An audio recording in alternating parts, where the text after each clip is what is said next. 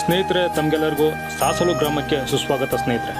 ಈ ಸಾಸಲು ಗ್ರಾಮ ಬಯಲುಸೀಮೆಯ ಸುಬ್ರಹ್ಮಣ್ಯ ಅಂತರ ಪ್ರಸಿದ್ಧಿಯಾಗಿದೆ ಸ್ನೇಹಿತರೆ. ಈ ಸಾಸಲು ಗ್ರಾಮ ಕೇರ್ಪೇಟೆ ತಾಲೂಕು ಕಿಕ್ಕೇರಿ ಒಬ್ಬಿಗೆ ಸೇರಿದ್ದಾಗಿದೆ. ಈ ಸಾಸಲು ಗ್ರಾಮದಲ್ಲಿ ಸೋಮೇಶ್ವರ ಮತ್ತು ಸಂಬುಲಿಂಗೇಶ್ವರ ಅಂತ ಎರಡು ಅವಳಿ ದೇವಾಲಯಗಳಿವೆ ಸ್ನೇಹಿತರೆ.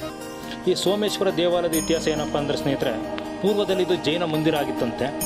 ಈ ಜೈನ ಮಂದಿರ ಆಗಿದ್ದಾಗ ಆದಿಶೆಟ್ಟಿ ಮತ್ತು ಕೋಲಿಶೆಟ್ಟಿ ಅಂತ ವ್ಯಾಪಾರಸ್ಥರು ಈ ಈ ಗ್ರಾಮದ ಮೂಲಕ ಸಂಚಾರ ಮಾಡ್ತಾ ಇರ್ತಾರೆ ಸ್ನೇಹಿತರೆ. ಪೂರ್ವದಲ್ಲಿ ಇದು ಜೈನ ಮಂದಿರ ಆಗಿರೋದ್ರಿಂದ ಇಲ್ಲಿ ಉಳ್ಕೋತಾರೆ. ಅವಾಗ ಅವರ ಕನಸಿನಲ್ಲಿ ಸೋಮೇಶ್ವರರು ಬಂದು, ನಾನು ಸೌರಾಷ್ಟ್ರದಿಂದ ಬಂದು ಇಲ್ಲಿ ನೆಲೆಗೊಂಡಿದ್ದೀನಿ ಅಂತ ಹೇಳ್ತಾರೆ. ಆಗ ಆ ವಿಷಯವನ್ನು ಇಲ್ಲಿ ಜೈನ ಮಂದಿರದ ಸಿಬ್ಬಂದಿಗಳಿಗೆ ಆ ಕೋರಿಶೆಟ್ಟಿ ಮತ್ತು ಆದಿಶೆಟ್ಟಿ ಹೇಳಿದಾಗ, ಆ ಜೈನ ದೇವನ ಸಿಬ್ಬಂದಿ ಮತ್ತು ಆದಿಶೆಟ್ಟಿ ಕೋರಿಶೆಟ್ಟಿಯರ ನಡುವೆ ಮಾತಿನ ಚಕಪಿಕೆ ನಡೀತದೆ. ಆಗ ಆ ಜೈನ ದೇವಸ್ಥಾನದ ಸಿಬ್ಬಂದಿಗಳು ಹೇಳ್ತಾರೆ, ಇಲ್ಲಿ ಸೋಮೇಶ್ವರ ಸ್ವಾಮಿ ಇರೋದಾದರೆ ಅದನ್ನು ರುಜುಪಡಿಸಿ ಅಂತ ಹೇಳಿದಾಗ ಕೊನೆಗೆ ಅಲ್ಲಿ ಸೋಮೇಶ್ವರ ಪ್ರತ್ಯಕ್ಷರಾಗಿ ತಾವು ಇಲ್ಲಿರೋದನ್ನು ಹೇಳ್ತಾರೆ ಅನ್ನೋದು ಒಂದು ಪ್ರತೀತಿ ಸ್ನೇಹಿತರೆ. ಅದಲ್ಲದೆ ಸ್ನೇಹಿತರೆ, ಈ ಪಕ್ಕದಲ್ಲಿ ನಾನು ಮೊದಲೇ ತೋರಿಸಿದಂಥ ಆ ಕೊಳ ಏನಿದೆ, ಅದು ವಿಷದ ಕೊಳ ಅಂತ ಕರೀತಾರೆ ಸ್ನೇಹಿತರೆ. ಯಾರೇ ಆಗಲಿ ಕೆಲವು ಚರ್ಮದ ಸಮಸ್ಯೆಗಳಿರುವಂಥ ವಿಷದ ಕೊಳದಲ್ಲಿ ಸ್ನಾನ ಮಾಡಿ ಬಂದು ಈ ದೇವಾಲಯದ ಸುತ್ತ ಪ್ರದಕ್ಷಿಣೆ ಹಾಕಿದ ನಂತರ ಅಲ್ಲಿ ನಾವು ಕೆಲವು ಸೇವೆಗಳನ್ನು ಮಾಡಿದಂಥ ಗುಣ ಆಗುತ್ತೆ ಅನ್ನೋ ಒಂದು ಪ್ರತೀತಿ ಇದೆ. ಸಾವಿರಾರು ವರ್ಷ ಹಳೆಯದಾದಂಥ ಈ ದೇವಾಲಯಕ್ಕೆ ಕಾರ್ತಿಕ ಮಾಸದಲ್ಲಿ ಮತ್ತು ಶಿವರಾತ್ರಿ ಸಮಯದಲ್ಲಿ ಲಕ್ಷಾಂತರ ಜನ ಭಕ್ತರು ಬಂದು ಸೇರ್ತಾರೆ ಸ್ನೇಹಿತರೆ. ಅದಲ್ಲದೆ ಇಲ್ಲಿ ಎಲ್ಲ ರೀತಿಯ ರಥೋತ್ಸವ ಧಾರ್ಮಿಕ ಕಾರ್ಯಗಳು ಚೆನ್ನಾಗಿ ನಡೀತವೆ ಸ್ನೇಹಿತರೆ. ಅದಲ್ಲದೆ ಸ್ನೇಹಿತರೆ, ಇಲ್ಲಿ ಯಾರಿಗೆ ಮಕ್ಕಳಿಲ್ಲ ಅವರಿಗೆ ಮಕ್ಕಳಾಗುತ್ತೆ ಅಂತ ಹೇಳ್ತಾರೆ. ಜೊತೆಗೆ ಇಲ್ಲಿ ಯಾರು ಅವಿವಾಹಿತರು ಅವರಿಗೆ ವಿವಾಹ ಯೋಗ ಕೂಡ ಇಲ್ಲಿ ಆಗುತ್ತೆ ಅಂತ ಹೇಳ್ತಾರೆ. ಇದು ಆಗಿನ ಕಾಲದಿಂದ ಬಂದಂಥ ಒಂದು ಪ್ರತೀತಿ ಅಥವಾ ಪದ್ಧತಿ ಅಂತ ಹೇಳ್ಬೋದು ಸ್ನೇಹಿತರೆ. ಮುಂದೆ ನಾವು ಸಂಬಲಿಂಗೇಶ್ವರ ದೇವರ ಒಂದು ವಿಷಯನ ತಿಳ್ಕೊಳ್ಳೋಣ ಸ್ನೇಹಿತರೆ. ಸ್ನೇಹಿತರೆ ತಾವೀಗ ನೋಡೋಂಥ ದೇವಸ್ಥಾನ ಸಾಸಲ ಗ್ರಾಮದಿಂದ ಸ್ವಲ್ಪ ದೂರ ಮುಂದೆ ಹೋಗಿ ಎಡಕ್ಕೆ ಒಂದು ರಸ್ತೆ ಬರುತ್ತೆ ಸ್ನೇಹಿತರೆ. ಆ ರಸ್ತೆಯಿಂದ ದಾಟಿ ಹೋದರೆ ಒಂದು ತೋಪು ಸಿಗುತ್ತೆ. ಆ ತೋಪಿನಲ್ಲಿ ಈ ಸೊಂಬುಲಿಂಗೇಶ್ವರ ದೇವಸ್ಥಾನ ಇದೆ ಸ್ನೇಹಿತರೆ. ಈ ಸೊಂಬುಲಿಂಗೇಶ್ವರ ದೇವಸ್ಥಾನವು ಸ್ವಯಂಭೂವಾಗಿದ್ದು, ಆಗಿನ ಕಾಲದಲ್ಲಿ ಬಿದಿರು ಮೇಳೆಯೊಳಗೆ ದೇವಸ್ಥಾನ, ಈ ದೇವರು ಇತ್ತು ಅಂತ ಹೇಳ್ತಾರೆ ಸ್ನೇಹಿತರೆ. ಕೆಲವರು ಬುಟ್ಟಿ ಹಣೆಯರು ಬಿದಿರು ಮೇಳೆಯನ್ನು ಕಡಿಯಲು ಬಂದಾಗ ಆ ಒಂದು ಕೊಡಲಿಯ ಪೆಟ್ಟು ಈ ದೇವರ ತಲೆಗೆ ತಗಲಿದೆ ಅಂತ ಒಂದು ಪ್ರತೀತಿ ಸ್ನೇಹಿತರೆ.